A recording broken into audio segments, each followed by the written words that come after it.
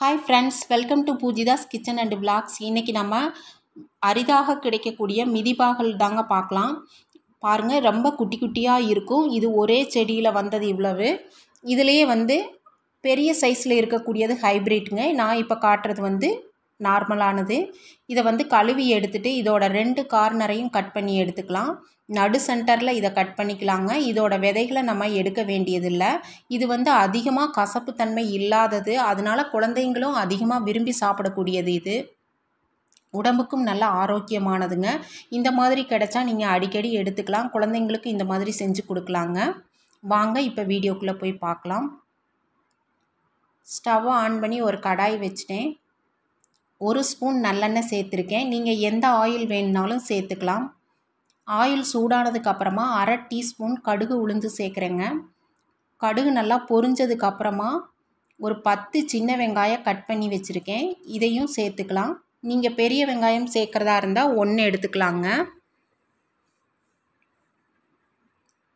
வெங்காயம் சேர்த்துக்கலாம். இதோட ஒரு கொத்து கருவேப்பிலையும் சேர்த்துக்கலாம். ஒரு நிமிஷம் போல் வெங்காயத்தை நல்லா வதக்கி விட்டுக்கலாங்க. வெங்காயம் அதிகமாக வதங்க தேவையில்லை. அதோட ஒரு ஸ்பூன் அளவு இஞ்சி பூண்டு தட்டி எடுத்திருக்கேன். அதையும் சேர்த்துக்கலாம். இந்த பச்சை வாசம் போகிற அளவுக்கு நல்லா வதக்கி எடுத்துக்கலாங்க. அடுத்து ஒரு சின்ன தக்காளி கட் பண்ணி வச்சுருக்கேன். அதையும் சேர்த்து நல்லா வதக்கலாம் இதோட தேவையான அளவு கல் உப்பு சேர்க்குறேன்.